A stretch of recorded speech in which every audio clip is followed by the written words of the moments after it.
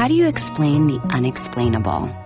That warmth that fills you up from the inside out? Does it come from the air, the sea, the sun, the people? Or is it something that can't be put into words? Because Aruba is more than a beautiful island. It's a feeling that brings out a happier, sunnier you. That's the Aruba effect. Plan your next visit at aruba.com. On this episode of Narcissist Apocalypse, we talk with an abuse survivor named Adelaide. And Adelaide was in a 10 year toxic relationship with a dehumanizing wealthy abuser.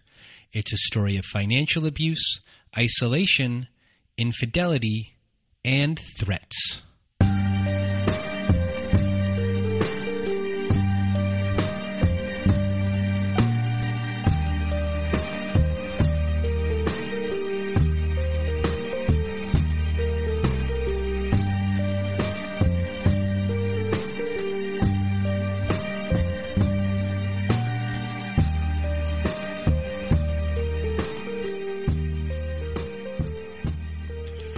Welcome to Narcissist Apocalypse, everyone. This is a podcast that gives a voice to survivors of domestic violence.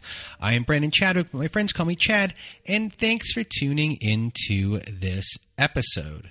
So, what is a narcissist, you may ask? Well, for the purposes of this podcast, we refer to a narcissist as anyone who has displayed a pattern of behavior that shows a limited capacity to appreciate others' perspectives. It is that simple. And also everyone before we get into the show it is domestic violence awareness month. We are going to be doing a 5k run on october 30th at 8 p.m eastern. You can walk it. If you're in a wheelchair you can go by wheelchair. You can do it any any way you want. We're going to do 5 kilometers to 3.1 miles for you people in america. You can raise money yourself for an agency a person a shelter or you can just do it for awareness. Post it on your social media social media hashtag Run for DV. And we're, we're doing this for the whole month of October. I'll be training and putting this stuff on our TikTok. If you want to watch the behind the scenes of some training and behind the scenes of the show, you can watch it there. And for people that want to be on our show today, our Survivor Story podcast, please do go to narcissistapocalypse.com. Top of the page, there's a button that says guest form. You press that button, and away we will go from there. You fill out the guest form. And also at our website at narcissistapocalypse.com, we now have a community support button at the top of the page. And that button takes you to our very own Safe Social Network. Our community members are on there posting in our forums. We have integrated Zoom support meetings. We have prompt books for these episodes to help you dig deeper and get more clarity in your relationships in life. You can create and run your own events from meditations to closure ceremonies. On the 6th this week, we will be doing candlelighting ceremony for the new moon for the new year. I want the new year for, for new beginnings and our communities our community members are all amazing. They're on there to support you when you need them. They'll cheer you on when you need them. And if you just uh, need support come to narcissistapocalypse.com top of the page community support button. Also if you need support go to domesticshelters.org if you or someone you know are experiencing abuse you are not alone. Domesticshelters.org offers an extensive library of articles and resources that can help you make sense of what you're experiencing. And if you need to connect with local resources like a shelter, you can do that there too and find ways to heal and move forward. So please do go to domesticshelters.org to access this free resource. And what else do I have here on my piece of paper? I don't know if I have anything else here today. Oh, I do everyone go listen to Toxic Workplace Podcast at toxicworkplacepodcast.com or on Apple, wherever you want to go, what other other podcast services you may use. Look for Toxic Workplace, and it is run by Carly Mayshock. And Carly is a great host. A lot of interesting stories about toxic workplaces. So if you also have a toxic workplace story, please do go to toxicworkplacepodcast.com. Submit your story there. Always looking for new stories, Carly is. And I think that may be it today. I'm looking down my list of things that I, I should remember or I maybe I forgot to write them down, but I, I think that is it. Um, so this is an interesting episode, and I say that because it's not just an interesting story; it's probably the longest words of wisdom we've ever had, and there's a lot of wisdom in these words of wisdom, and you just should listen. There's a really interesting uh, thing with lawyers that she'd figured out that one lawyer told her that, that's in there that told Adelaide these things. So it's a, it's it's a great words of wisdom. It's really helpful, and the whole story is, is interesting. And you know, um, Adelaide is very deliberate when when she is uh, talking, and you you know her her pauses. There's there's depth to the pauses uh, when she when she's speaking. And I really want to thank Adelaide for for being here uh, or being on the show uh, and helping so many people. I know this episode's going to help a lot of people. So a big thank you to Adelaide. And now, without further ado, here is my episode with Adelaide. Welcome to Narcissist Apocalypse, everyone. With me today, I have Adelaide. How are you? Hi, I'm wonderful. How are you? I am doing well, and we are about to hear the story of your 10 year relationship where you started off as someone who had a lot going for them. You came from nothing and you worked hard and you met someone who was very wealthy and you eventually were in a world that you were not a part of before and a world that not too many people are a part of and that created its own set of circumstances and it became very scary and isolating. So thank you for for being here today to share your story and without further ado adelaide the floor is now yours. Okay thank you. Um, i can honestly say now that i'm looking back on things that my childhood made me the perfect victim.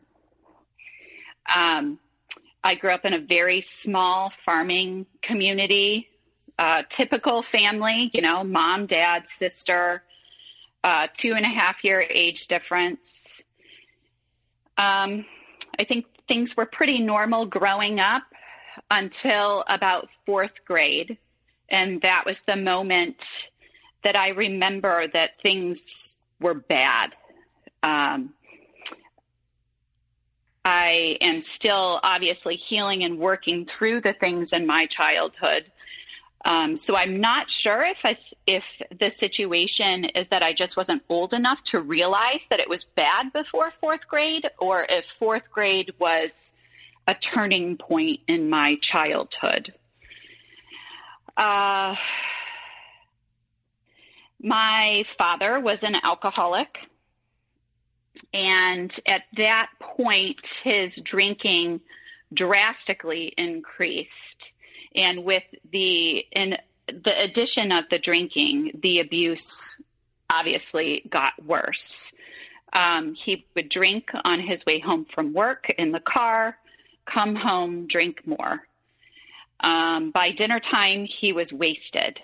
And, you know, a lot of people remember having great uh, childhood memories of family dinners, and my memories are the exact opposite.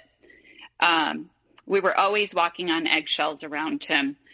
He would pick up his dinner plate and throw it across the room, shatter the dinner plate, uh, slap my sister across the face when she was mid bite for no reason, uh, so hard that she would have a uh, hand imprint on her face.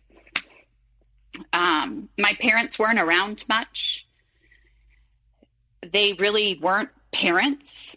Um, I am the older sister, so I I took care of everything. I taught my sister how to ride her bike without training wheels. I taught my sister how to tie her shoes.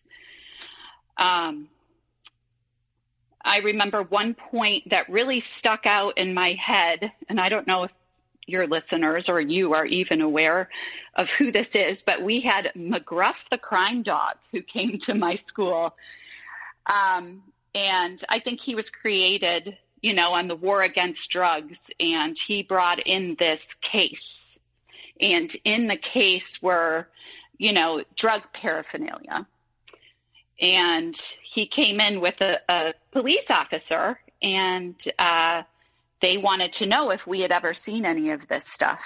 And I looked in that case and realized that all of that stuff was in my home.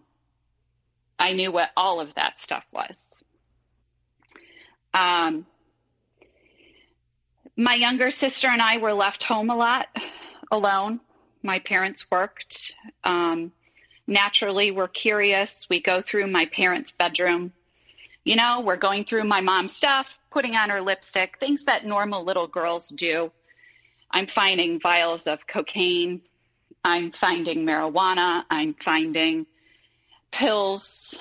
So uh, I think that's where a lot of the issues in my family arose from. I distinctly remember every day that my dad would come home from work, I could hear him snorting lines of cocaine immediately walking into his bedroom now I'm sort of realizing that I believe my mom was a narcissist. She did not acknowledge any of the behavior and somehow found a way to make it all about her, even though, you know, my sister is suffering, I'm suffering. It always was about her. Um, both my parents worked, but we never had any money. I learned at a very, very early age that if I wanted something, that I was going to have to find a way to buy it for myself. In fifth grade, I wanted to play the cello. Uh, my parents refused. So I went out and I got a babysitting job and I paid my payment booklet with a rent to own cello so I could play the cello. Um, I bought my own braces. I was babysitting and earning enough money to provide for myself something that I think I have a very good work ethic, and I think this is probably why. Um, working a lot on weekends. Now I'm older, weeknights, babysitting, uh, very active in sports, and I did ballet for my entire life. As I started to grow older, I started to notice, and so did my friends, that I would get a lot of attention from older men. Uh, we would go to the mall and walk around, and my friends would just say things like, Wow, that guy is just gawking at you, staring at you. You know, there were a lot of, uh, I, I got a lot of male attention as I grew into being a teenager. Um, I was uh, working also at the mall. I was making money doing modeling I got um, approached to work for a big modeling agency, and my parents were very agreeable until they found out they had to drive me somewhere, and then that was a no.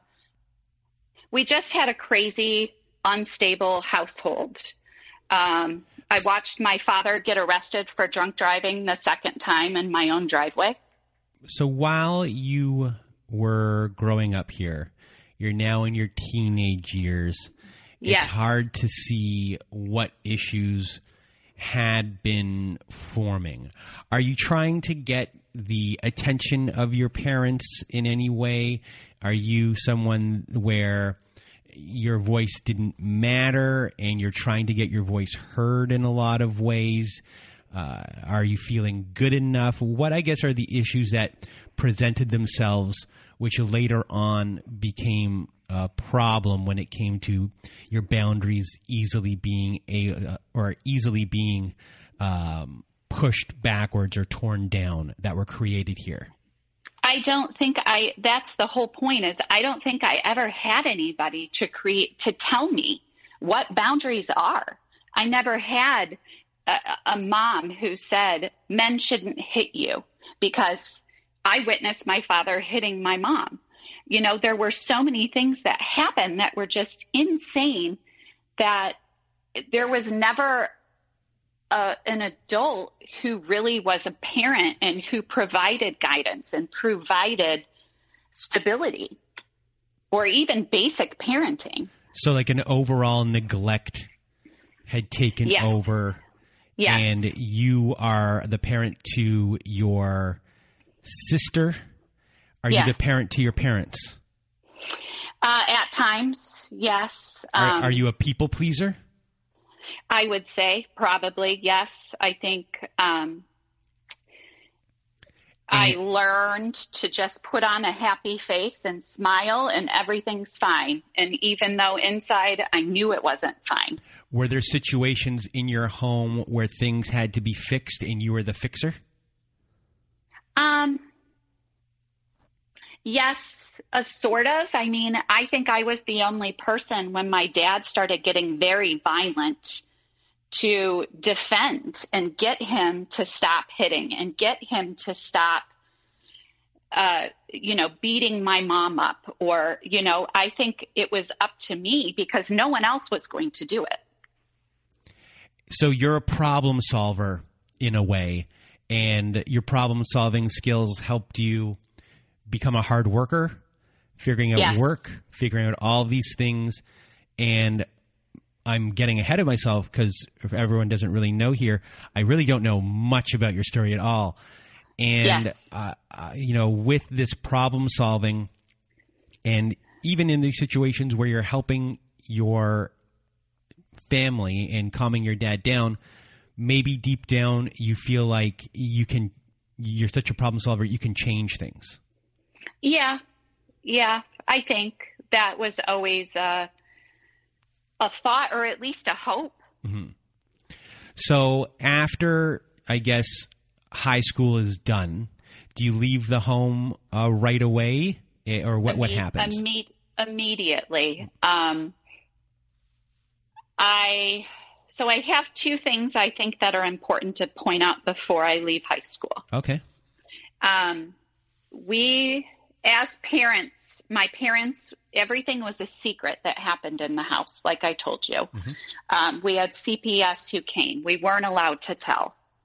Um, everything was a big secret, not a normal childhood. The abuse was insane um, until one day my mom decided that she wanted to leave my father. So we're being, my sister and I are being instructed the whole time you're not allowed to talk. You're not allowed to tell anyone what's going on inside the house. Then all of a sudden it's you need to go to your counselor at school. You need to tell your counselor what's going on. You need to say this. You need to say that. So I go to my uh, counselor at my high school.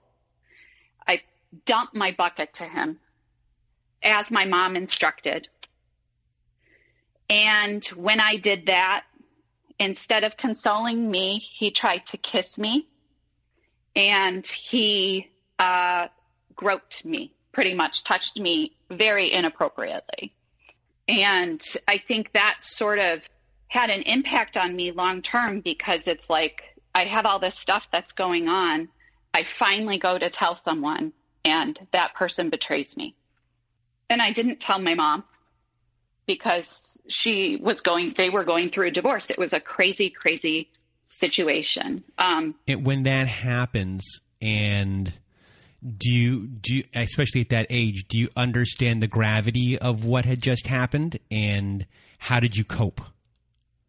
Um, I think I understood. I, I, I think I maybe internalized it and blamed myself because I had noticed, like I said, that I was getting a lot of male attention, and I thought, oh, I must have done something to make him do that because he's a counselor. Like this is his job. He works in a school system. He probably doesn't do this to other people.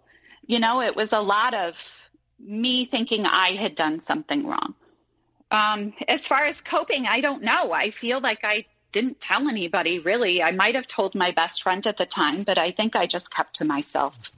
So after that happened, um, what what uh, transpired with your family. Now, a word from our sponsor, BetterHelp. Back in November, I became pretty burnt out because I was running this podcast and I was working my other job to keep this going. I was exhausted. I had no time for myself. My mood was pretty erratic. And on top of that, there's social obligations. And for me, having too many social obligations becomes a huge problem as I'm not the best at saying no. So I wasn't looking forward to December at all. And I was really burnt out. And, you know, life can be really overwhelming. And many people are burned out without even knowing it. You know, symptoms can include lack of motivation, irritability, fatigue, and much more we associate burnout with work, but that's not the only cause. And uh, you know, our roles in life can lead us to feel burned out. So BetterHelp Online Therapy wants to remind you to prioritize yourself and talking with someone can help you figure out what's causing this stress in your life. I'm a huge fan of BetterHelp myself. I use it from the safety and convenience from my own home. My counselor and I work on my anxiety issues, my codependency issues, and they helped me out a lot when trying to figure out a life balance when I just was getting burnt out all the time. You know, December, no, November, I was toast everyone. So to me, therapy is a place I can be vulnerable, I can work things out, and I can get the validation I need. And I cannot say enough about therapy as a whole and how it's helped me in my life.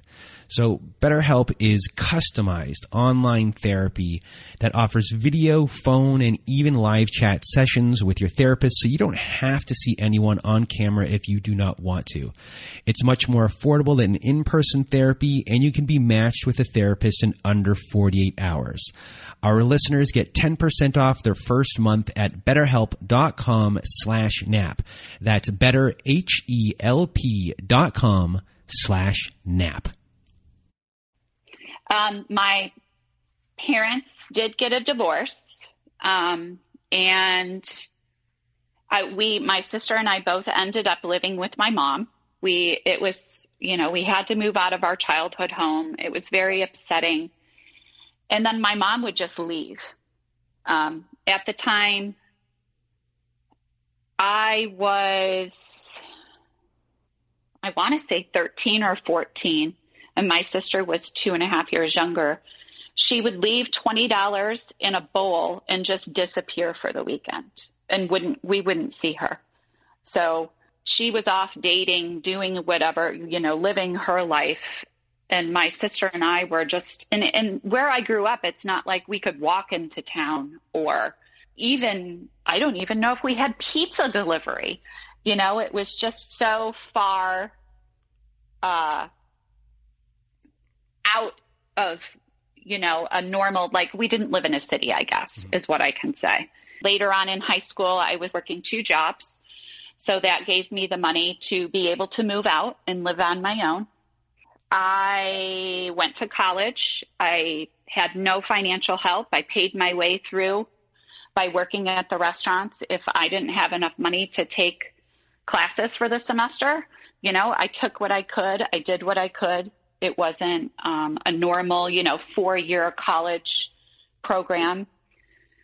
Um, in the meantime, I was working full time. Um, by the age of 19, I was promoted to a management position. I was making more money than my mother financially. Um, I also was sort of supporting her a little too because she would always call and complain that she didn't have any money and she didn't know how she was going to eat lunch. So I felt the need to help her out. My father died um, when I was 21. He struggled with alcohol and drugs and was in and out of rehab facilities he uh, actually died on my birthday. He never showed up to uh, meet me for my birthday dinner. And so that was hard. You know, there was a lot of unresolved issues from, I guess, going through what I went through and then never get, our childhood, never getting the therapy, and then knowing that I could never fix things or talk about things. But I just powered through. You know, I dived into work. I got another promotion, still managing the restaurant. I was the youngest manager in the company. I uh, would go to all these wine tastings and things, but I couldn't legally even drink. Uh, a lot of my staff were much older than me, but I think I liked it. I loved my job. It gave me a lot of satisfaction. Um, when I was 24, I met my husband at my job. Um, he was a wine rep we quickly got engaged, married pretty quickly. He was a very nice guy. Um, but I feel like I married him because that was what was expected. We were living together. He was Italian Catholic. You know, we were living in sin because we weren't married. I felt very pressured. Um, big, huge wedding I was walking down the aisle knowing that this wasn't going to work and it wasn't going to last. Um, we just had a different value system. I think I wanted him to change and I thought he would change. And I think he wanted me to change. Um, you know, I, I realized I shouldn't have gotten married and eventually I was the one who ended the relationship. Um, I knew I really wanted to have a family and I wanted to have children, but I knew I did not want to have a family or children with him. And that was my sign. You know, my heart was telling me that. So when I was 27, I uh, filed for divorce. I moved back in with my mother still working at the same restaurant. Um, by that time, I had graduated from college. So, this is sort of where my narc comes into the picture. Um, he was a regular at the restaurant. He came in, his, uh, he had two older sons who lived across the street, and he would come in on a weekly basis and bring them dinner we just got to know each other just like i mean he was no different than any other person any other regular that i had in the restaurant i'm my friendly self i'm talking you know getting to know people checking on them. I get to know him. He offers me a job tries to get me to go work for his company. As time went on it was more and more frequent. The minute i filed for divorce i took off my engagement ring but I kept my wedding ring on because I didn't want to blur the lines between professional and my private life. And the day I took it off, he was like, Where's your ring? What's going on? I told him that I filed for divorce. He instantly gave me his phone number. I said, Thank you for this, but you know, I am pretty traditional. Um, I'm not going to call you. I'm going through a divorce. I'm not looking for a relationship. I, it's my belief that I should get divorced, like finalize my divorce before I do anything. Um, I don't, I'm not interested in dating. I'm not interested in going out. I just, you know, I said, I'm just, I just want a friend. That's all I want is a friendship that was Memorial Day weekend. In the summertime, we open up an entire restaurant on top. So it's like having two restaurants. That consumed all my time. I poured my time into my work. I was working, you know, anywhere from 60 to 80 hours a week except now he's coming in more often. He's bringing more people in. He's bringing famous athletes in to meet me. He's bringing famous sports announcers to meet me. He's bringing, you know, CEOs of companies in. And I was so, like, wow. Sorry, so I have a question. Yes. I have a bunch of questions. Okay. within this time, first, what is his job? Uh, second, what is it about him that you either like or don't like about him up until this point? Obviously, he's persistent and persistent pays persistence pays off. But is there anything that you find attractive about him, uh, from his personality to charisma or anything like that? He owns car dealerships, and he is self-made. He did it all on his own. So that to me was very intriguing. You know, literally a self-made man did it all on his own, no help from anyone very charismatic, very charming, uh, very complimentary, just was a real charmer, knew the right things to say. My employees loved him. And it was like he just was this larger than life personality, such a nice person. You know, he's bringing his kids in. I see he's a good father. He's attentive, caring. But I, the physical attraction was not there. He was much older than me. So, and he was a little too pushy and a little too forward for my liking. So I felt like I needed to pump the brakes and I could see where this was going. And I wasn't comfortable and I wasn't ready for anything like that in my life at the time.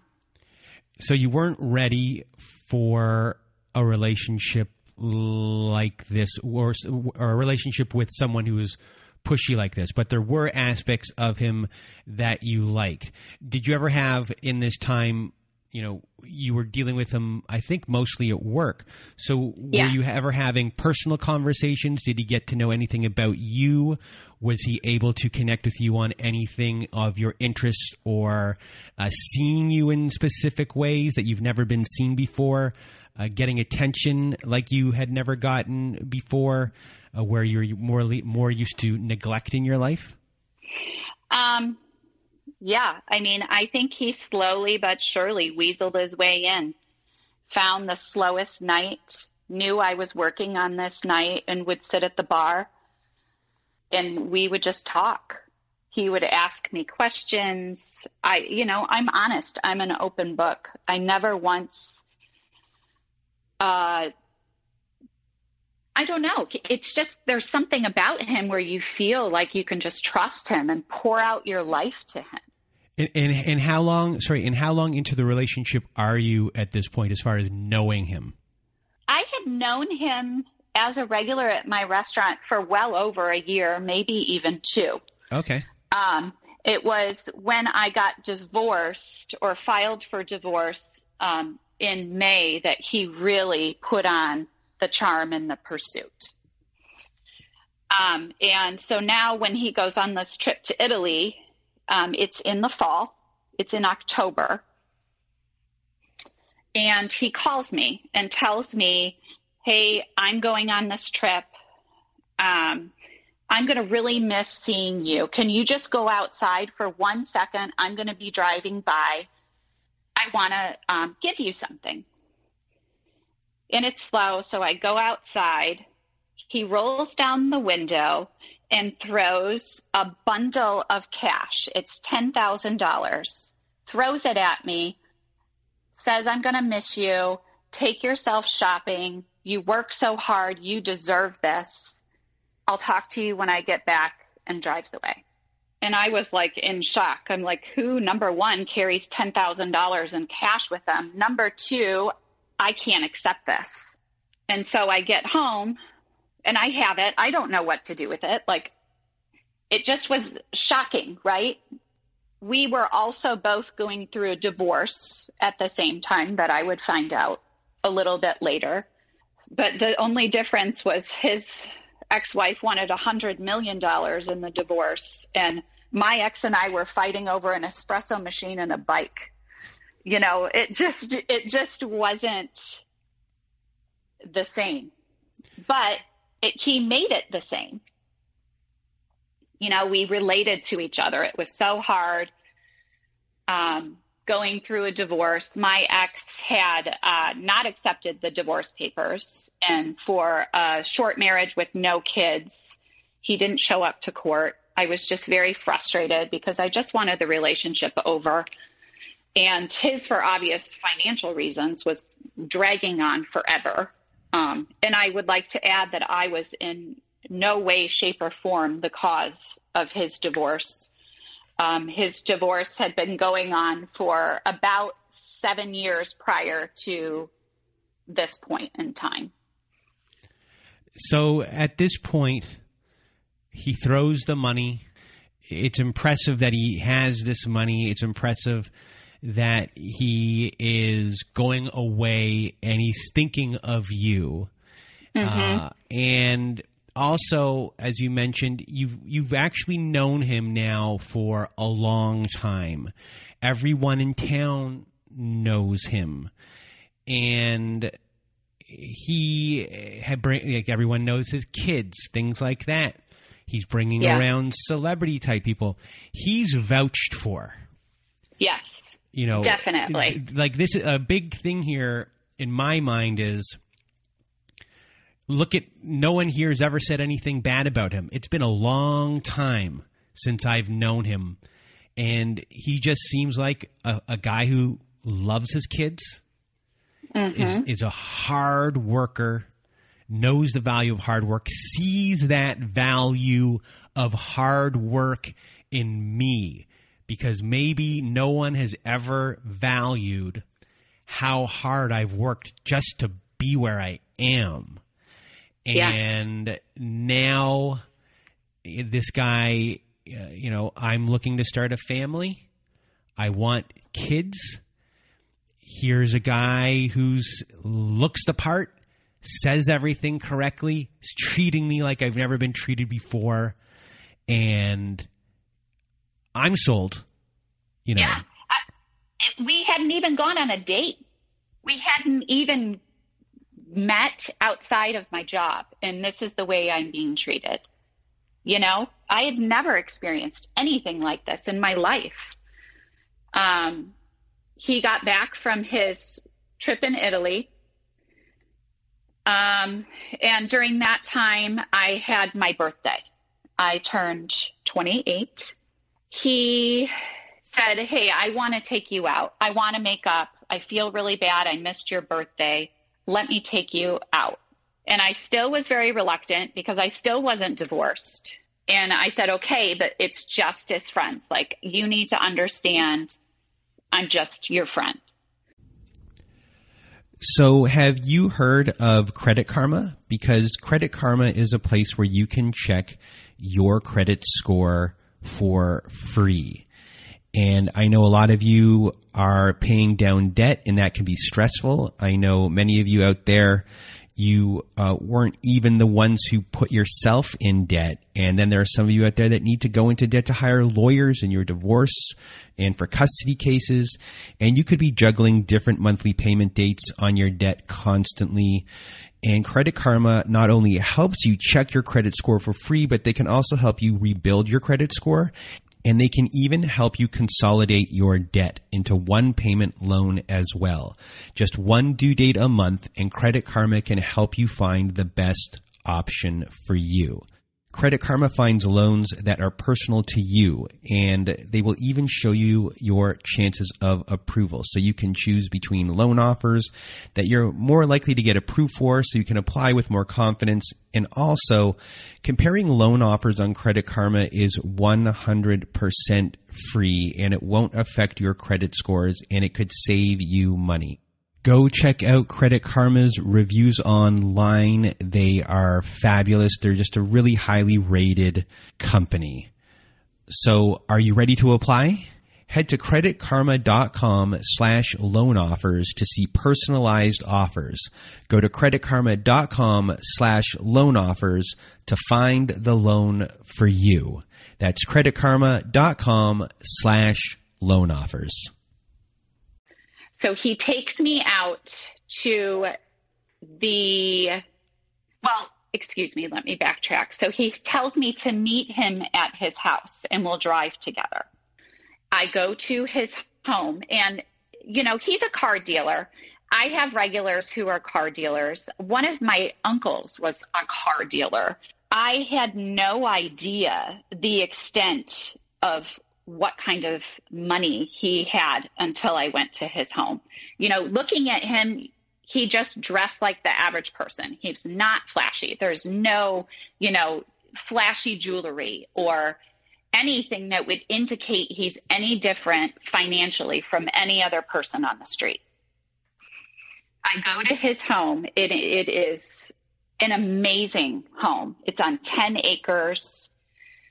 Uh, there's three houses. There's a pool house. There's a guest house. There's a gym. There's a home theater. I mean, just like I have never been in a house this nice before in my entire life.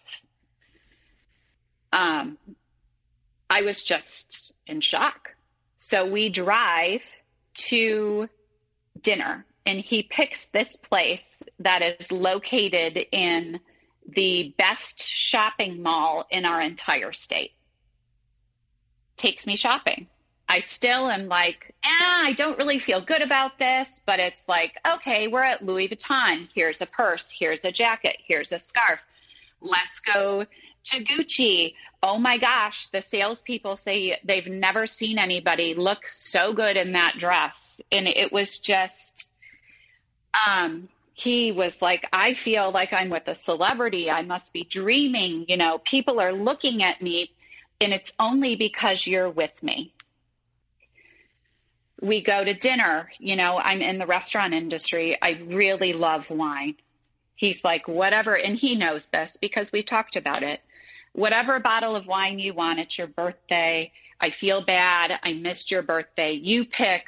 Price is not an option it felt still uncomfortable having someone offer to buy me things and spend the money that he did on me that day, but he kept justifying it and he kept saying, you know, you're just special.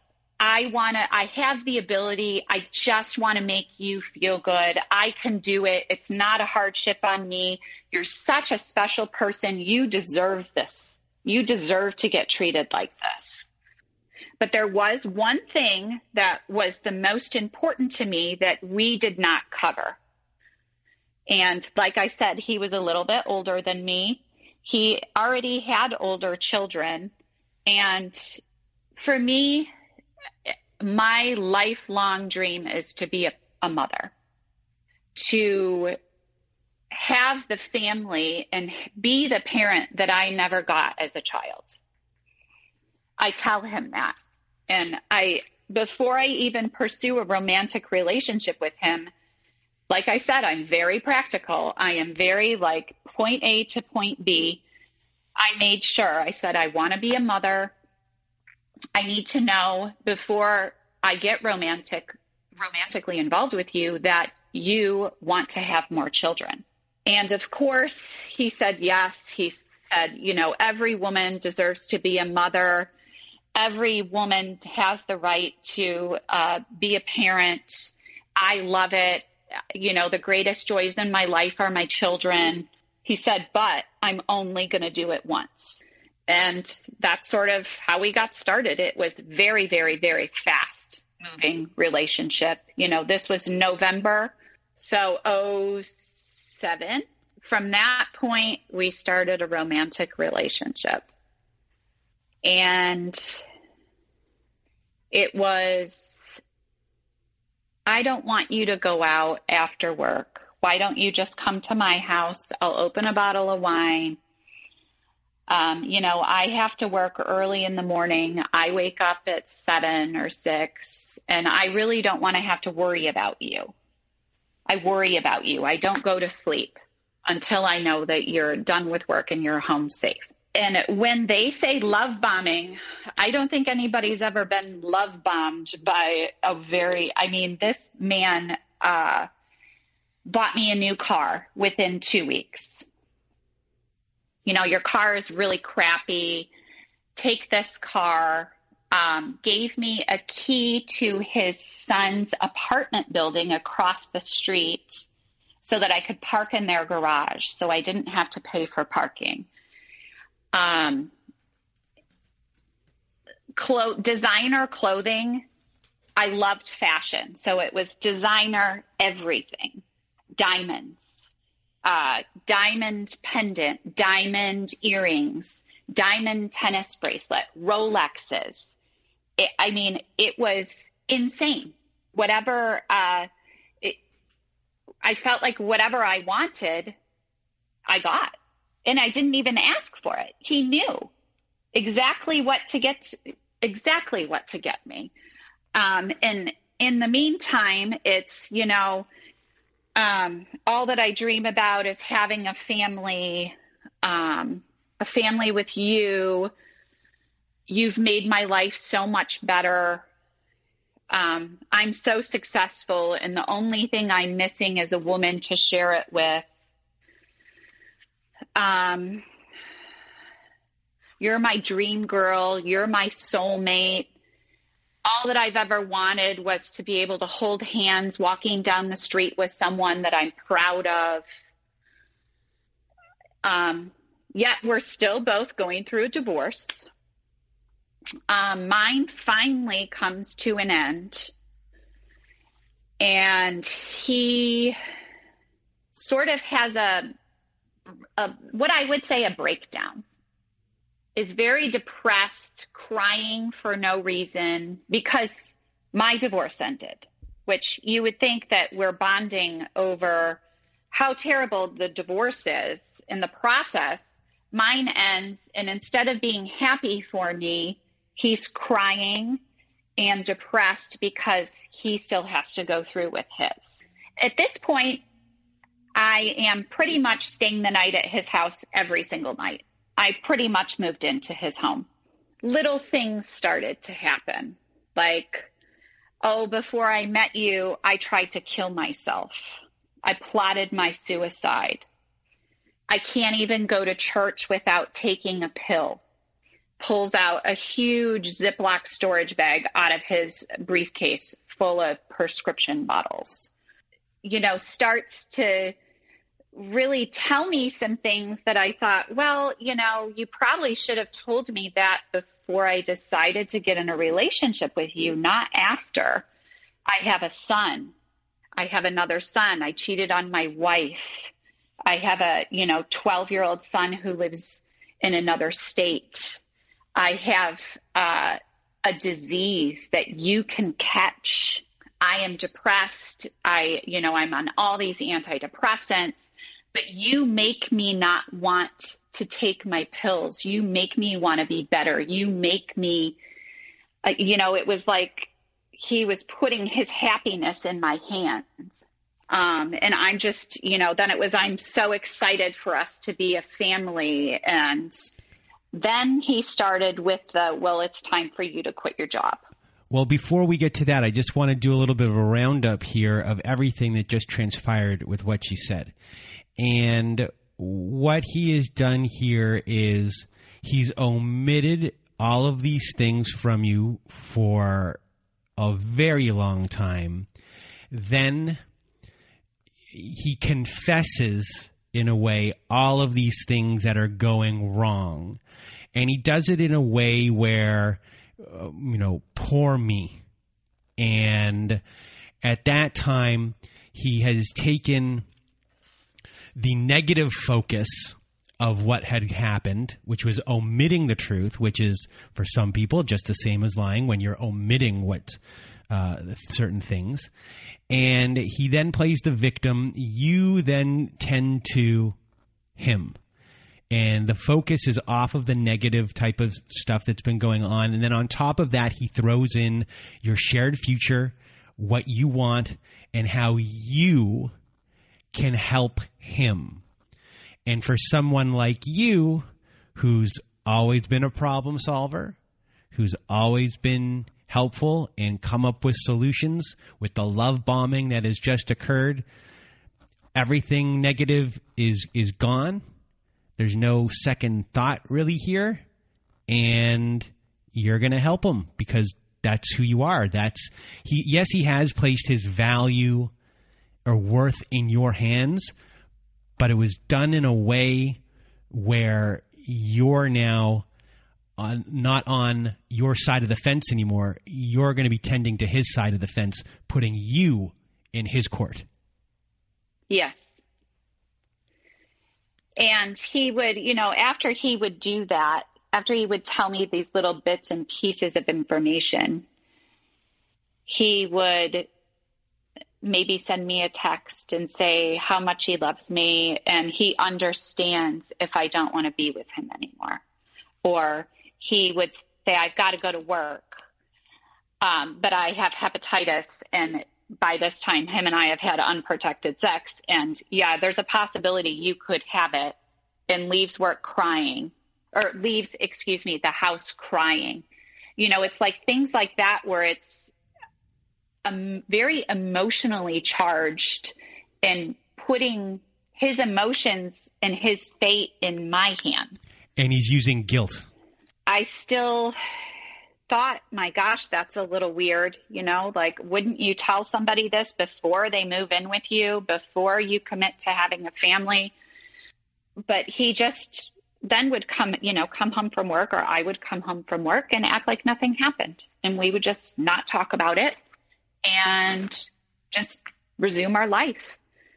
Um, and then, like I said, he started wanting me to quit my job. How he got me to quit my job is he started taking me on trips. So, um, unbeknownst to me, he had a private, he had a jet. He has homes all over the United States. And he also has car dealerships in all of these areas. I didn't know. I thought he was just a local you know, car guy with some local car dealerships. So I am going to islands. I am going to ritzy cities on a private plane. I've never, I, I've only at this point been on a commercial plane once before in my entire life, and I'm flying private. Um, we're going to the Super Bowl we're sitting next to celebrities. We are going to the Masters golf tournament. Um, like once in a lifetime events for some people, this is, you know, a weekend for me. And that was sort of how I quit my, or why I quit my job. Um, because he was like, this is what I want to do with my life. Like, I have all this money. I just want to enjoy it with you. And this is what our life is going to be like. But the biggest thing that really like hooked me and got me was when I got sick. Um, I have bad asthma and would get very bad uh, respiratory infections. So I was sick one day, very sick, and was really having problems even breathing. And he takes me to the hospital where, you know, he funds the medical research at the hospital. So we get the red carpet treatment. I don't wait. You know, I'm in the emergency room. I don't wait. I go right in. I get taken care of by the top doctor in the area um, for, you know, respiratory illness. And he's like, no, you're not going to put it on your insurance. He just hands a credit card, buys me my this respiratory machine that's super expensive, takes me home, you know, is taking care of me, giving me soup, giving me breakfast in bed, just totally catering to me. And that to me, I was like, wow, I've never had anybody take care of me like that ever. It's always been me taking care of other people or me taking care of myself. And I thought, okay, this guy really loves me. He just proved he's really going to take care of me. This Pride, everyone's coming through for the Trevor Project on YouTube Shorts. Join us! Create a short showing how you're stepping out for Pride using the hashtag YouTube Pride Challenge. Come through for Pride on YouTube Shorts. Visit youtube.com backslash pride. Um, and that's really all I ever wanted in life was someone to be there for me, someone to show me that they cared about me and who, you know, that then translated to me like, he's going to be a great father. If we have children, he's this doting on me when I'm sick. He's going to be so great, you know, as a dad. And this also seems to be the first time in your life where, you know, because you are not working or been told, hey, we're doing all these trips, you have to be available. This is really the first time for you where you've never been working since the age of, or since like grade five. Right, right. And for you, that must be heaven in a, in a way it because, was. because you were you were probably exhausted. Yeah, I mean, it it was it was unbelievable. I had we had neighbors, and he said, "You you must feel like a Disney princess." He's he's like, it just must be like a dream. You know, one day you're you're managing a restaurant, and the next day you're flying in a private plane going to a private island. And it was. I mean, it was very, it was like a dream come true, you know? Before things started going downhill, he wooed my family. He paid off all my mother's debt, gave her $10,000 to keep in the bank so she had financial security, bought my sister a car um, we would go on lavish family vacations for my mom, her boyfriend. For them, they were sold too. The, the image and the message of family. Like, I care about family. Your family is my family. A couple months after I quit my job, I found out I was pregnant. Which again, also dream come true. That's all I've ever wanted in my life was to be a mother um, have a family of my own. And here I have this dream guy who's absolutely in love with me and is going to be the best dad. I find out when we go to the doctor that I uh, was pregnant with identical twins. So the day after I went to the doctor and we found out that I was pregnant with twins, I get a phone call and I guess I should say that he was always on the phone. He had two phones.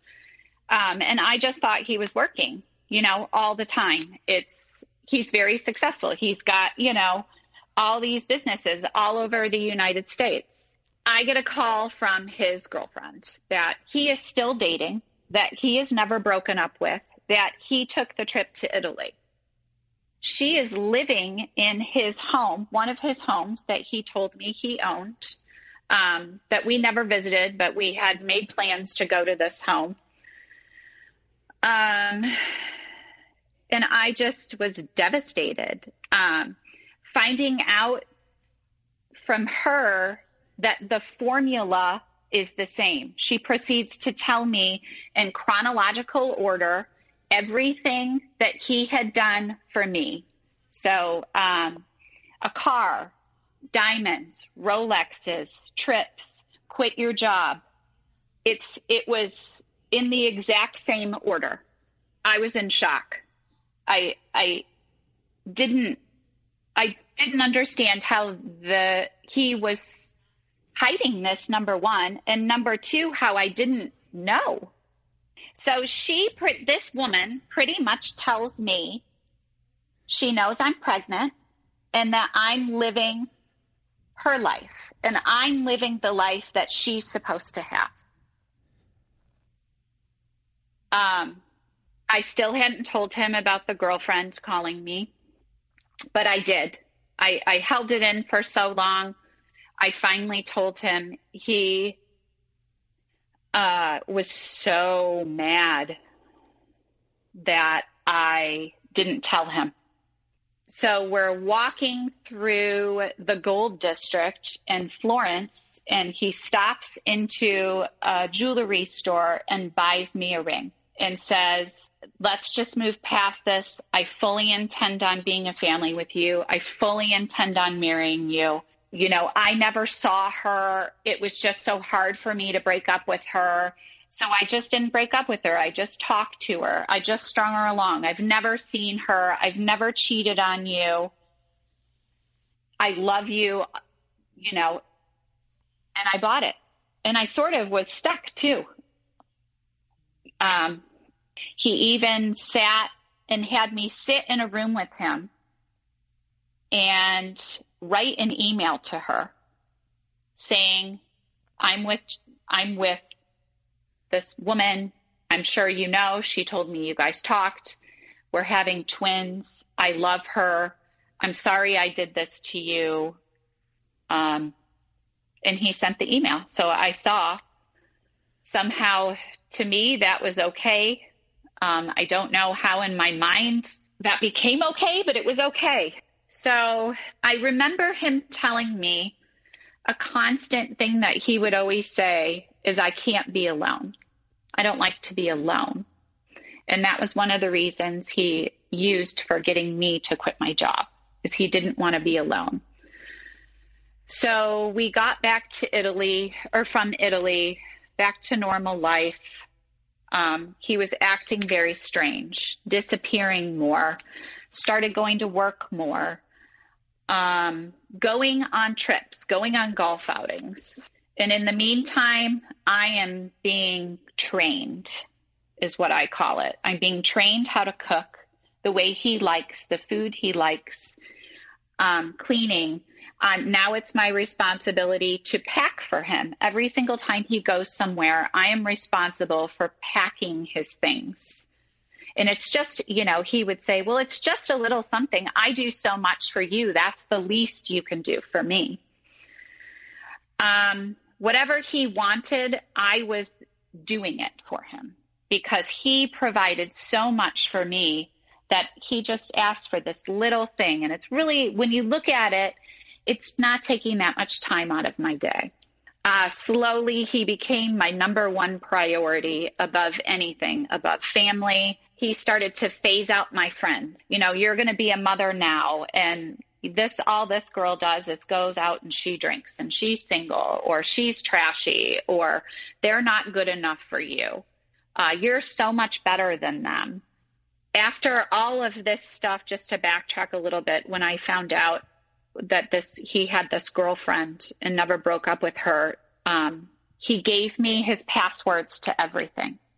So I had his email password. I had, you know, the numbers to unlock his phone but he wanted mine as well. And I gladly gave it to him. At this point, we were still traveling. Um, I was pregnant. I was able to travel. The pregnancy was really going well. Um, but he was still being secret. He was still, you know, going outside talking on his phone or going on a bike ride or finding excuses to go and talk on his phone um, we were at our home. Coincidentally, he has a lot of homes on islands. so we were on a home on an island. Um, and I found out that this particular girlfriend uh, was suing him. And she sued him. So he bought her a home, a house. She basically sued him, and he never told me about it. I was very upset. I think the it had boiled over from the dishonesty, um, from you know maybe me not even dealing with it the first time. We got into a huge fight. He threatened suicide.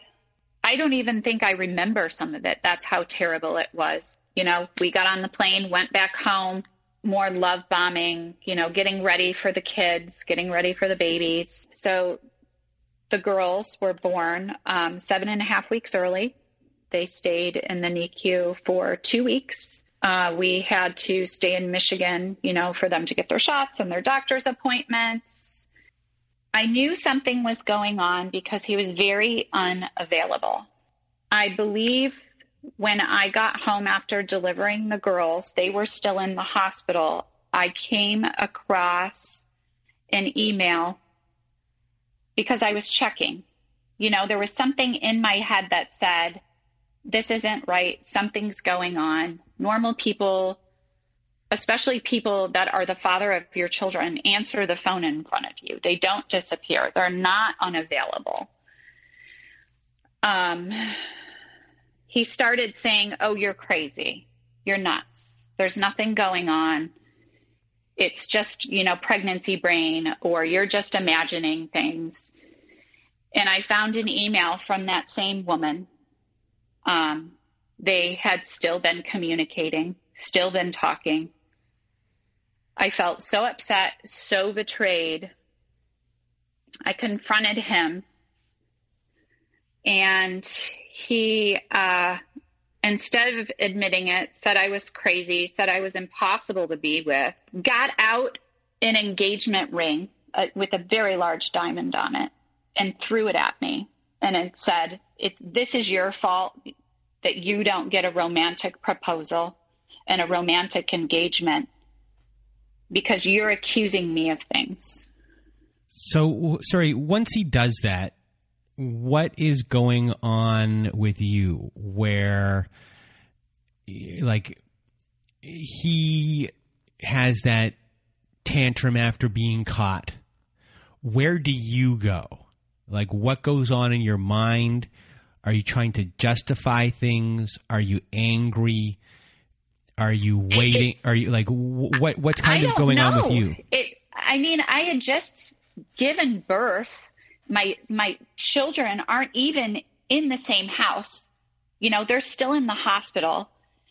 I am trying to get them out. I'm pumping. I am going in to breastfeed them. I it just and it just I don't even know where I was at in my headspace because it was all so crazy. It was all so crazy.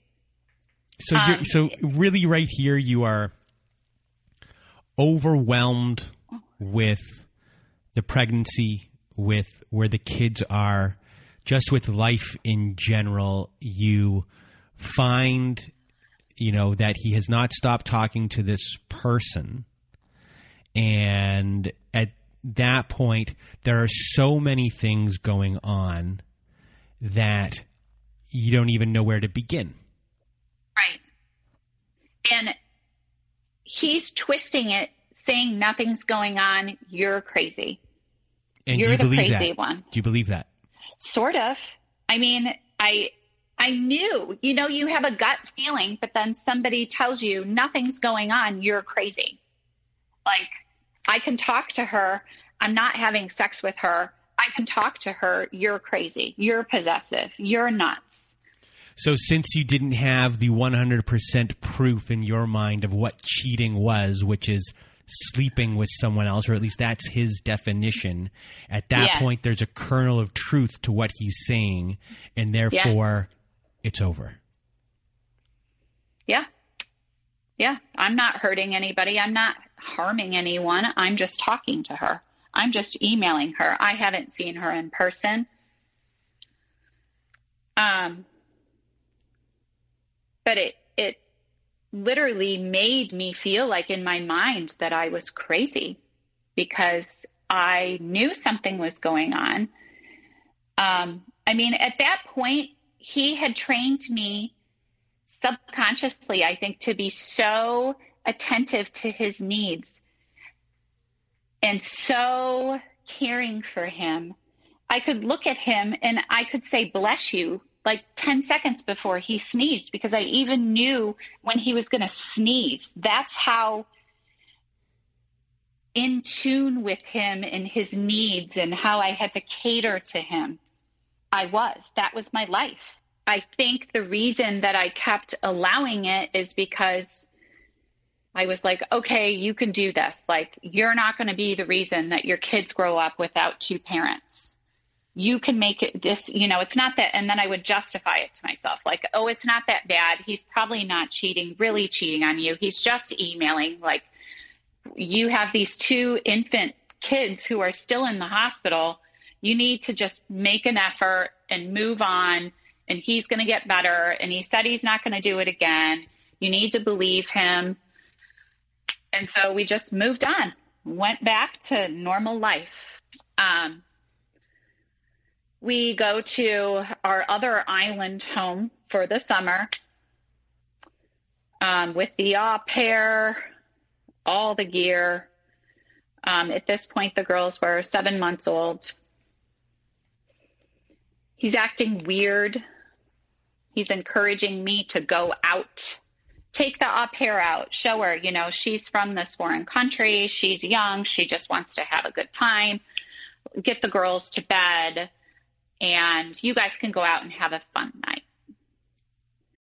This episode is brought to you by Cheetos Deja Tu Huella.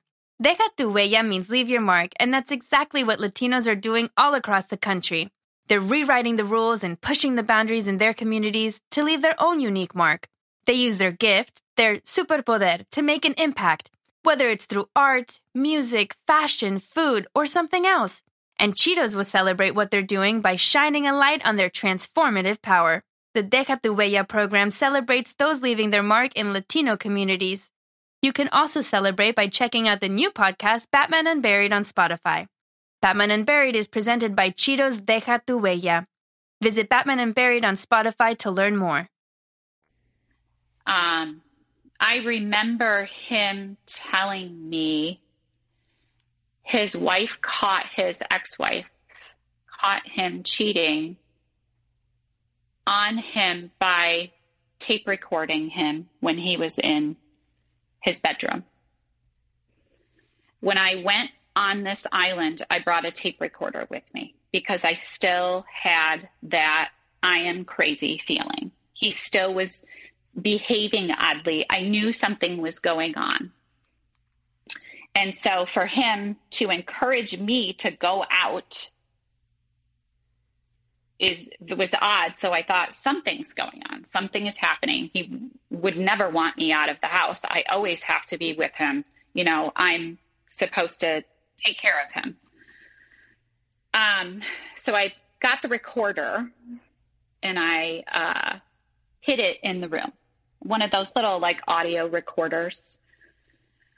Um, I got home and sure enough, he is having a phone conversation with that same woman who he bought a house for, who had sued him, who was his girlfriend, who he never broke up with.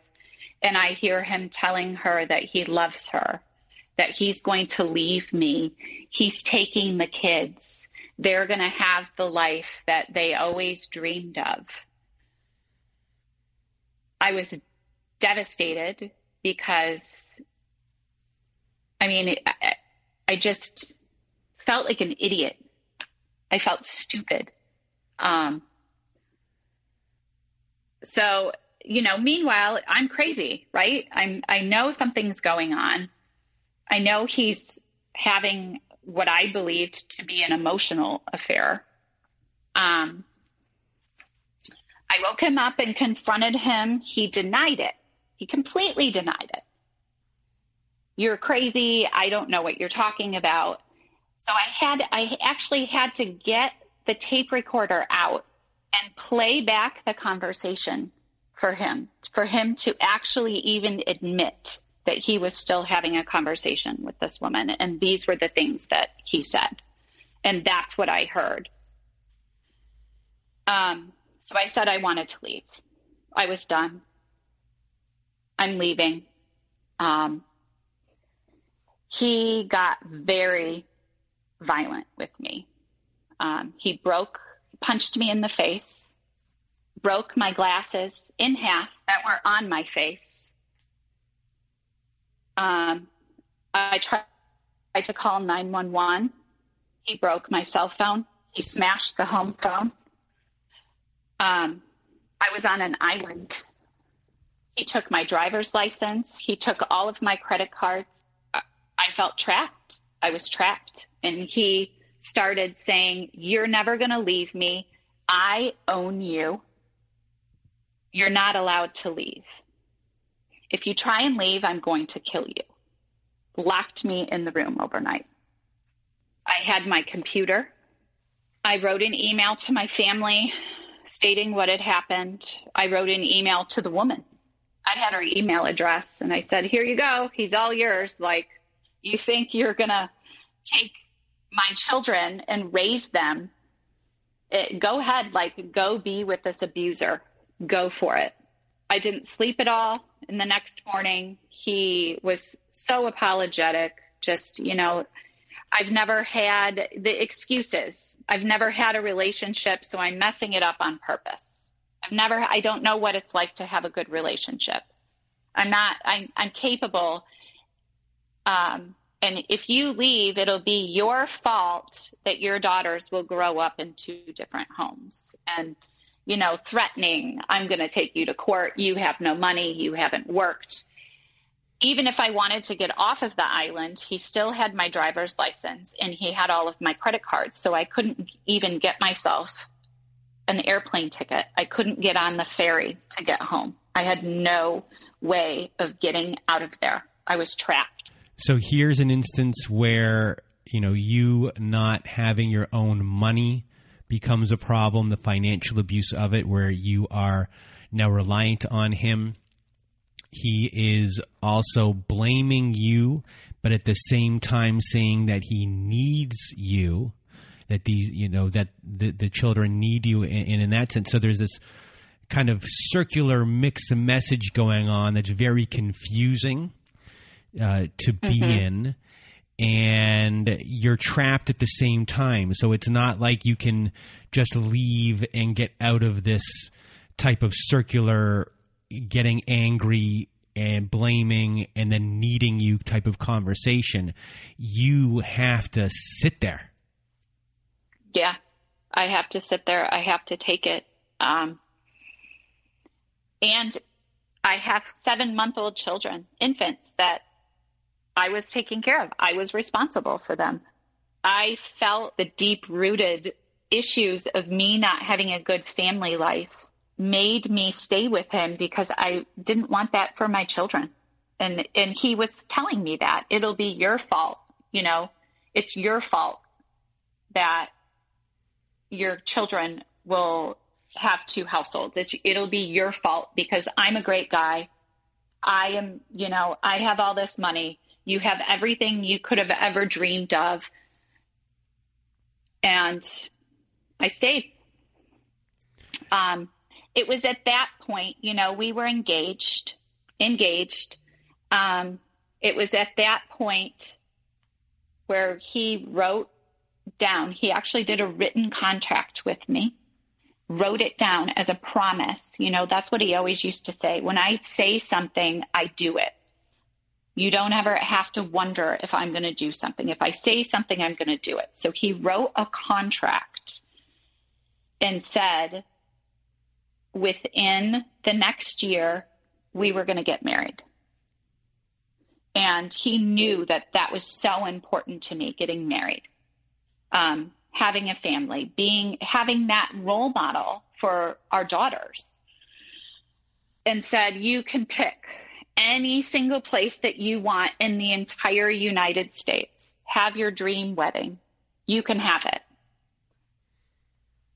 And he put it in a contract. And then he also put in the contract that he was not speaking to this woman ever again and that he would never financially provide anything for any other woman again.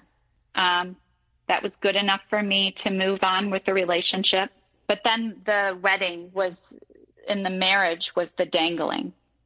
Um, if I didn't cook dinner right, it was, oh, well, you wonder why I don't want to marry you. You don't even know how to cook.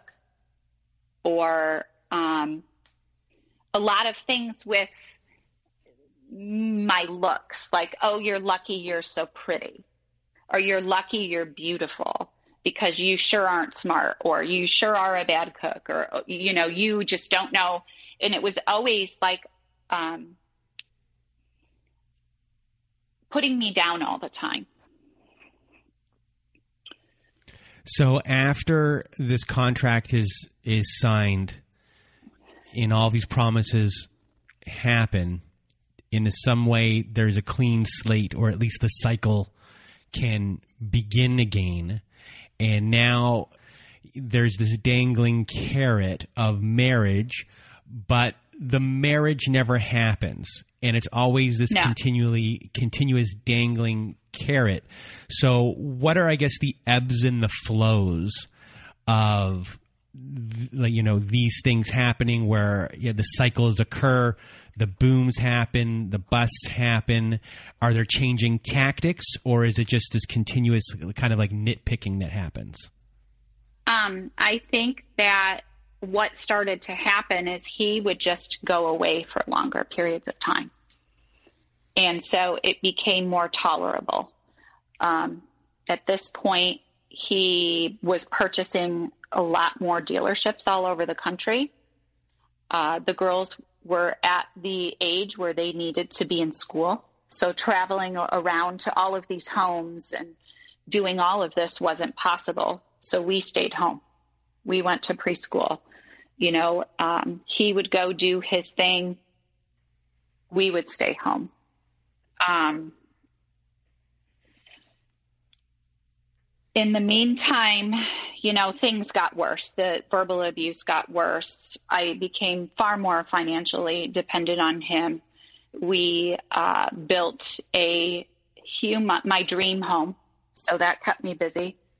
Um, like I said, the ante just kept getting bigger. If he made a mistake, it was a bigger uh, reward, you know, if I stayed. Um, also, you know, nothing was in my name. The homes were in LLCs and the businesses. The cars were in LLCs and the businesses. The only thing conveniently that were in my name were all of the bills. And for people who don't know, an LLC is a limited liability company. So, in the aftermath, if you tried to sue something like that, the liability and ability to sue them isn't as uh, is not as easy as it would be if it was a regular divorce. Correct? Yes. Yeah.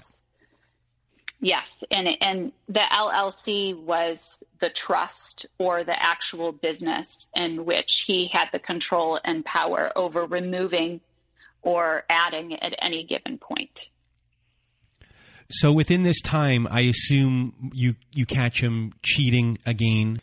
So at the beginning, when you were seen and you were appreciated and everything you were seen for your hard work that is now gone and now you are being dehumanized and you are seen as less than him yes. and as far as your mental stability during this time are are you in the realm of uh, not suicide, maybe suicidal, but you've really lost what is up, down, left, or right, or are you still able to know exactly um, when all the gaslighting and all that stuff is occurring?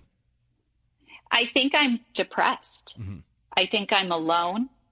You know, I remember days just like when the kids were young and I'm alone the whole day. And all that I wanted was someone to talk back to me in full sentences. You know, I'm alone.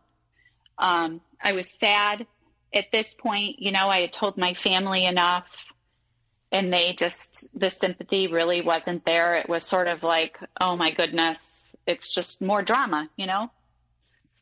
Um, there were more women. Um, and with the women, it got more daring or even in a more perverse way for him, he now was putting us together. So he would put me in a room with a woman that I believe he was cheating on me with. And he got some sort of sick, perverted happiness out of that. There were two women that I know of at least three actually, where um, one one was an employee, two were employees of his, and they actually ended up suing him for sexual harassment. Um, and that's how I found out about all of the uh, infidelity, attempted infidelity. Um, and I was just on my own. I was living in my dream home, in my dream town, I had apparently, according to him, every woman's dream. I had a credit card with no budget. I had no bills. I had beautiful kids, but I was miserable. I wasn't happy. You know, Wait, was it Birkin wait, wait, bags. Sorry, was it difficult for you to get empathy from anyone because of the lifestyle you were living, which Yes. then drove you Yeah. into further isolation? Because at that point, Yes. how many people in reality of how wealthy you were at that point, or your or your ex was, how many peers do you actually have in that sense? the um, what I was going through, it, I couldn't talk about it to anybody because you feel ridiculous, you feel stupid, and it's it's just so much drama. Um, so it's that, and then the people that I care about and the people that are closest to me, I feel like are the ones who are like, "Oh, poor baby," you know, you're flying around on a private plane. You're not happy. Like oh what a bad life. You know i didn't go on vacation this year at all and i'm not getting the sympathy and the support that i need from the people who are closest to me um, because of the financial aspect So, was there a final straw uh, before the end happened? Yes. So there was a final straw when it came to another woman, and then there was a final straw with my children. Um, we had signed the contract. He had promised me, he had given his word, he was not going to financially support any more women because, again, a man like that doesn't go out and buy you a home and not expect anything in return. Actually, I don't think anybody is going to buy you a home ever and expect anything in return. And my kids started noticing the abuse. Um, I was driving to school one day with my kids, and they said, Mom, I know how to spell the word bitch. It's B I T C H, and that's what dad calls you all the time. And their sweet little voices are telling me, Dad doesn't love you. Dad's mean. Dad yells you at you. You need a boyfriend. You need to get somebody who loves you. You're a nice mom. You need somebody to buy you flowers.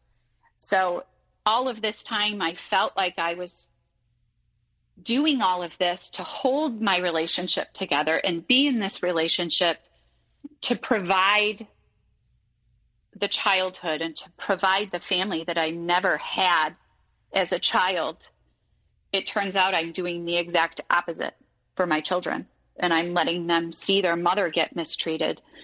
I am probably, you know, teaching them that it's okay to get treated this way by a man. I sat down with my ex and told him that I knew he bought this woman a home and I gave him a chance to take it back and that we needed to go get counseling. And he looked at me and he said, It's my money. I'll do whatever I want with it. And if you don't like it, you can go do something else. So it took me a while to um, get the courage up to leave. Um, he had bought another home in the same town that we lived in. So we had two homes, and I believed that he had it so he could cheat. Um, so I packed a bag and I took the girls and I went and stayed at that home. It was hard. I mean, I I wasn't who I was. You know, I at one point in my life I was strong. I didn't need anybody. I wasn't dependent on anyone. And now here I am and I have nothing. Literally like I've got nice clothes, but I have no car. I have no job. I have no home. And I have two children. So eventually he realizes that I'm not going to come back. And he tries everything, all of the tactics, you know, it's I'm nice, I'll do whatever you want. I'll give you $500,000 for every single year that you've been with me. And for every year after, I'll give you a million dollars. I'll put the company in your name. I'll put the houses in your name. Just every single last thing trying to be nice. Then it turned into crying if he didn't get me to come back. Like, I'm depressed. I'm going to kill myself again. Uh, I can't live my life without you Then to um, mean and threatening and he's going to make me pay and he's going to take the girls away from me and um, you know he's going to kick me out of the house i'm going to have nowhere to live at this point all of the credit cards are in my name um, but he pays the bills they go to his accountant I'm getting deposits from his bank coming into my account every single month. Those stop. So I have no money. He has this like fix it lawyer who works um, with all of his dealerships and sort of just fixes things. Um, he's the lawyer who fixed all of his sexual harassment, all all of the lawsuits that my ex had. This is also a man who I've spent family vacations with, that I've cooked dinner for. This man drafts up a parenting agreement, and I am told that either I sign it or he's kicking me out onto the street with the girls. And at this point, hasn't even seen the girls at all, not once. Um, I had only been gone in their lives maybe three total weekends. And they're in first grade at this point. Um, in this document, he gets 50 50 custody of the children. And we're not going to file it in the state that we're in, that the girls, you know, are going to school in, because he doesn't, he's not a resident of this state and he is so terrified of getting caught paying state income taxes that he will not allow me or will not allow the document to be filed in any court. And I didn't even have a lawyer, anyways, because I was told if I went to a lawyer, it was going to be bad, that he was going to kick me out, that I couldn't have legal representation when I signed this legal document. I, I signed it. Uh, this legal document had an NDA in it. It had punishments if I told anyone. I basically signed a legal document that I would spend the next two and a half years trying to unwind. So after you signed this, where did you go? And what was, I guess, the repercussions of signing it, and how did you eventually unwind it? Um, I signed it. I stayed. If I signed it, I stayed in the house. I got the money that I was getting um, back again. I got a car, but then he wasn't happy with the agreement. So he put another one in front of me. I signed that one. And it was just a modification. It wasn't a new agreement, it was a modification. It gave me more money for child support and it allowed me to move out of the home. Um, at this point, I didn't feel safe in that house, anyways. He had hired private investigators. I was being followed. I think I was followed for an entire summer. I was being accused of being a lesbian. I had friends and um, family members from my home state who called me and said, Hey, this, you know, this is really interesting. I heard this that I'm a lesbian, that I left him, or that I was cheating on him. So now I'm the cheater, even though, you know, he had me followed for a straight summer pretty much. And there were no pictures of any cheating. I was a cheater. So you were not allowed to discuss anything because of the no. NDA, but he could go out and smear you in any way he wanted. Yes. Because that yes. was not in there at all. Yes. And he was allowed because the amount of money that I was getting, in retrospect to his wealth, was like pennies. But to the normal person, oh my gosh, you're getting how much a month in child support? So, what happens from here when you finally say enough is enough? Well, my kids are suffering. They are going over to his house. They're having mental breakdowns. They're crying. Um, they don't want to go over there. They're miserable. And the reality is they weren't really, it says 50 50 on paper, but they're not really there 50% of the time because he is incapable of taking care of children at this age. So when I moved into this house, um, I had a neighbor down the street and he had gone through a divorce and he had started giving me books like going through the divorce, how to deal with it with your kids. And he gave me his divorce attorney's phone number. So I called her and I met with her. And that's sort of how we decided that we were going to um, file it in the state and through the court system. Um,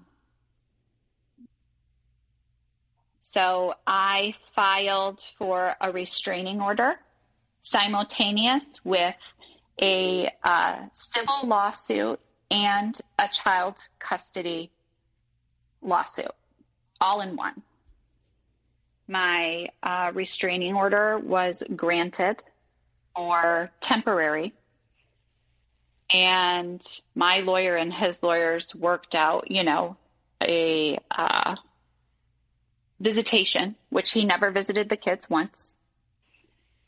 Um, immediately when he got served, he immediately violated the restraining order. He immediately called me, then um, immediately came over to my home, violating it again. I was fearful of him because of what had happened. And he also had a plane that was unmarked. And I was very fearful that he would take the girls. Our fights became worse towards the end. And, you know, there were threats. He did say, if you ever leave me, I'm going to kill you. Um, I didn't find out until later that I have PTSD and I blacked out maybe one of the most violent exchanges between the two of us where I actually had a witness. Um, I don't even remember it.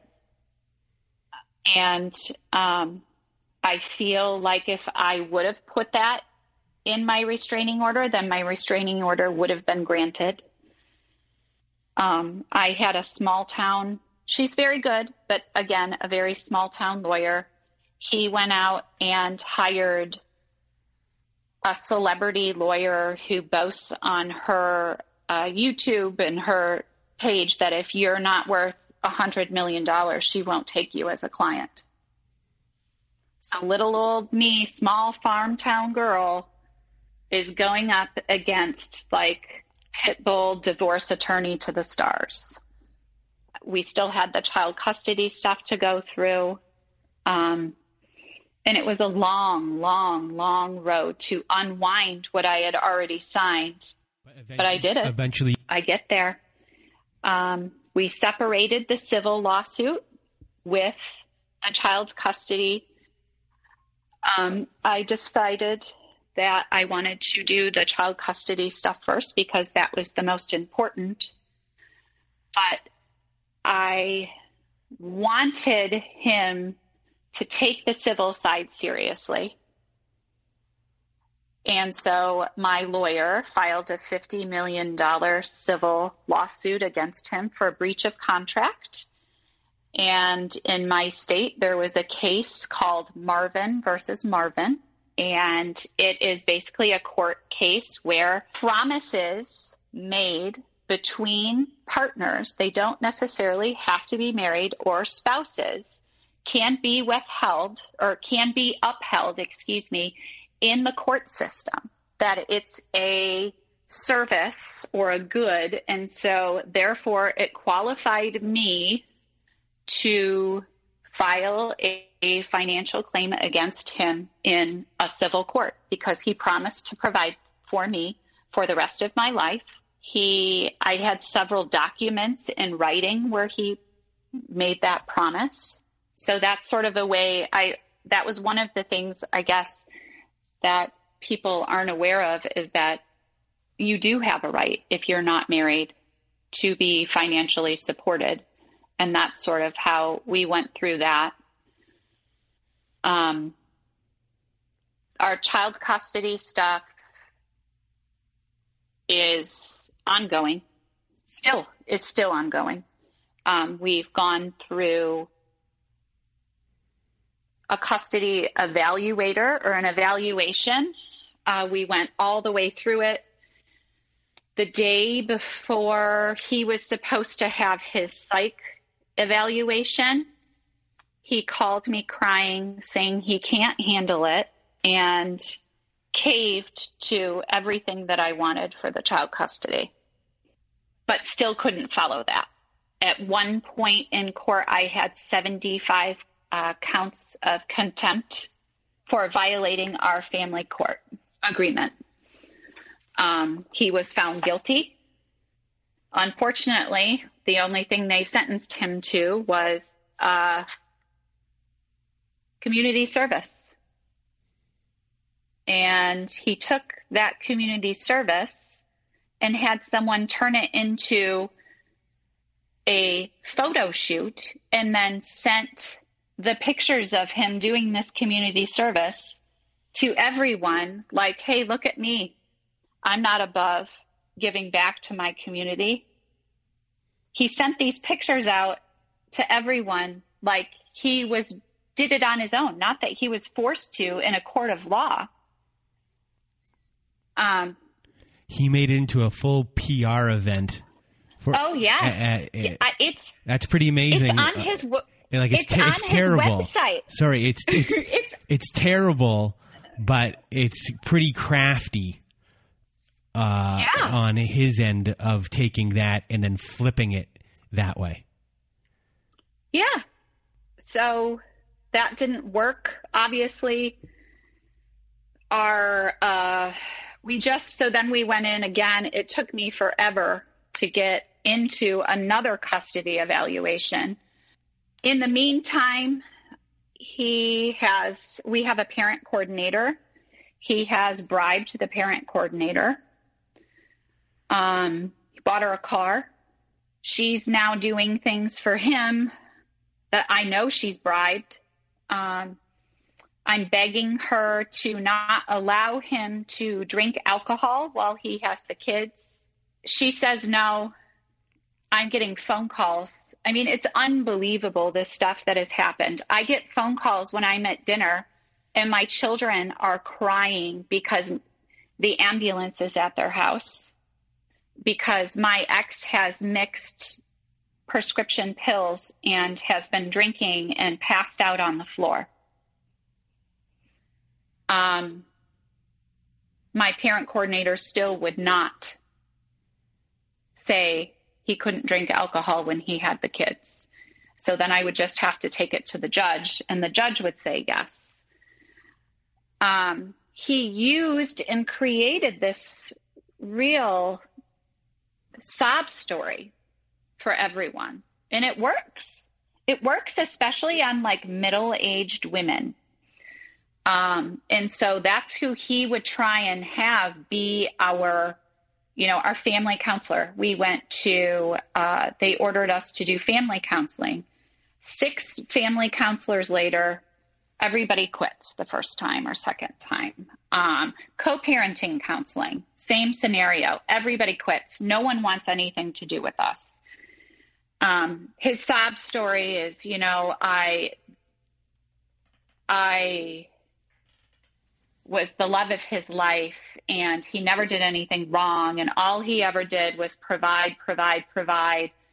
Then i cheat on him and i sue him for 50 million dollars and all that he has left in his life to do in this world is raise those girls and you know he's so generous and he gives all this money to all of these charities and these people just fell over so trying to listen to him. So, you know, he's crafted this perfect story. He delivers this story with his charisma, with his money kind of driven behind it.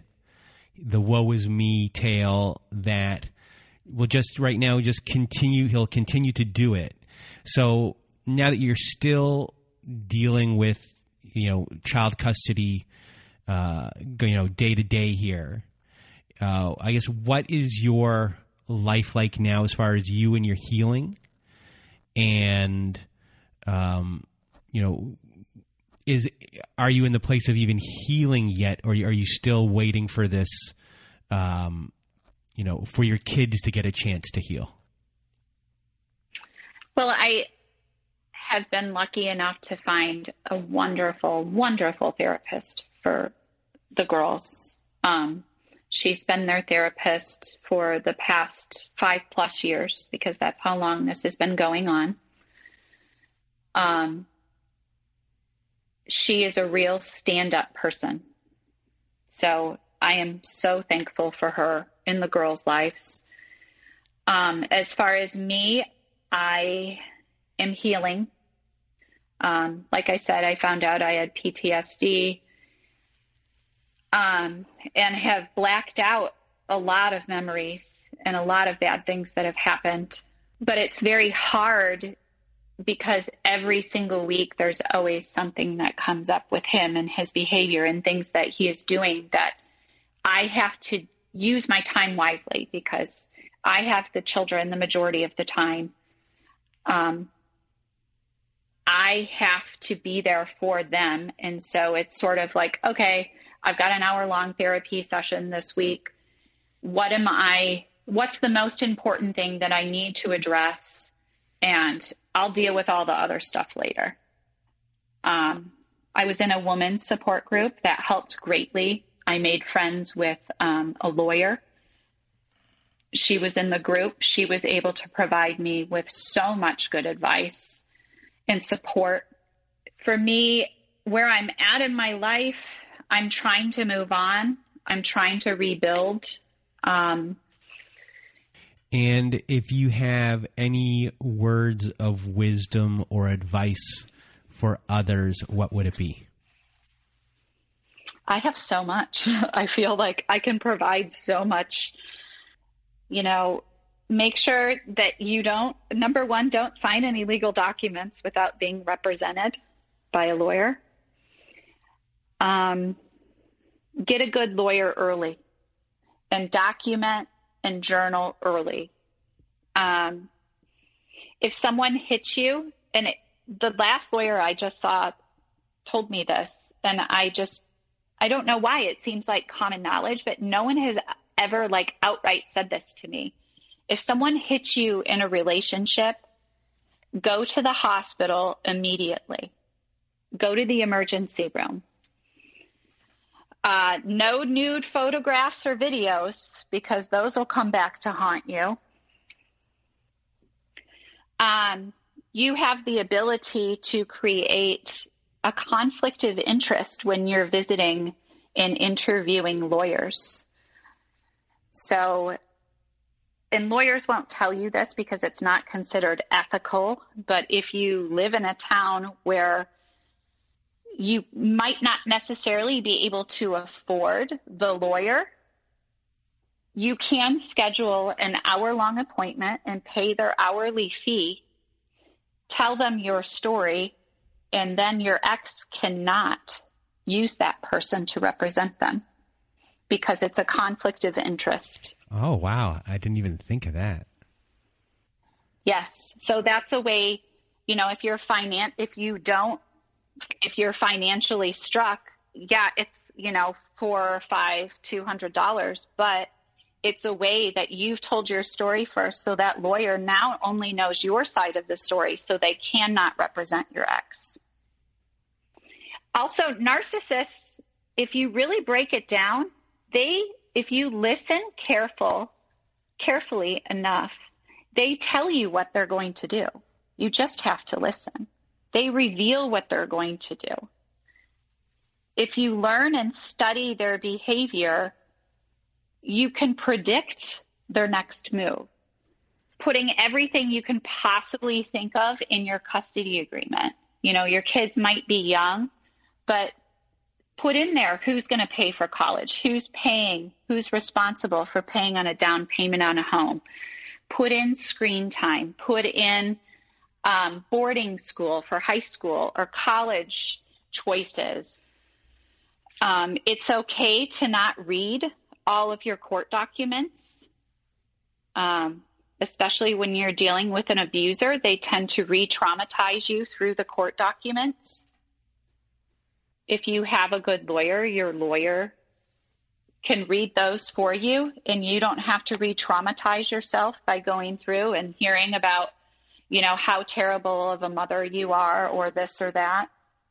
Um, unless it's imperative you don't need to do that. And you should ask your lawyer to withhold that stuff from you.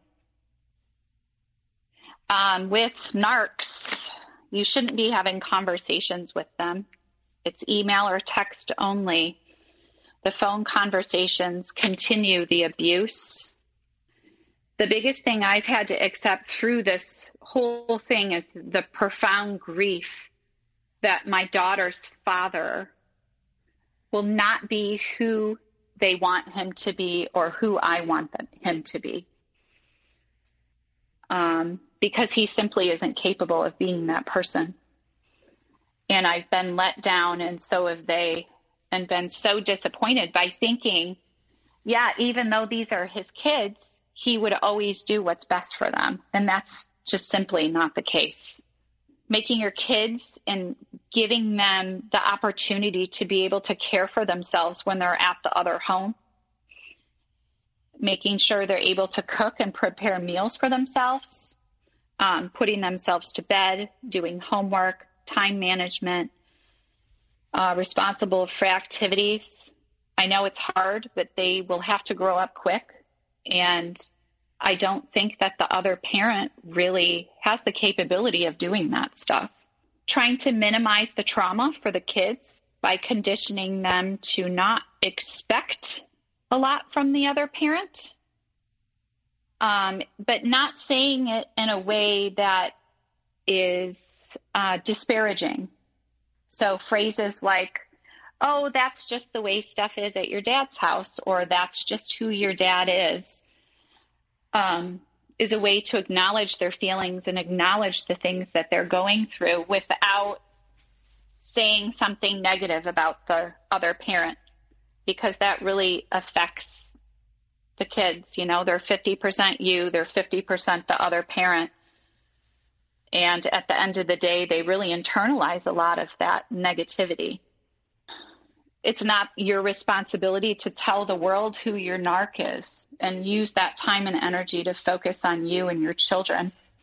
It's okay to feel bad. It's okay to feel stupid. It's okay to feel embarrassed.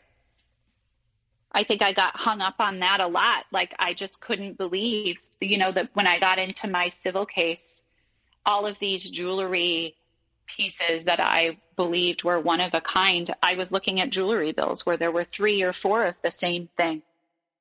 And I just couldn't believe that I didn't realize that this was going on when I was in the situation. And I think I was way too hard on myself. Well, Adelaide, I want to thank you for being on our show today, for sharing your story. And you know your story is i guess a symbol of this can happen to anyone in whatever walk of life that you are in rich or poor and even in these situations uh, you still found yourself isolated and you still found yourself uh, with threats of being uh, killed, and your children have to go through this with uh, your ex uh, whenever they visit, and you're still battling it. And I just want to thank you today for coming on and sharing your story. You did a great job telling your story. So, from the bottom of my heart, thank you so much for being here today. Thank you very much. And for myself and Adelaide, we hope you have a good night.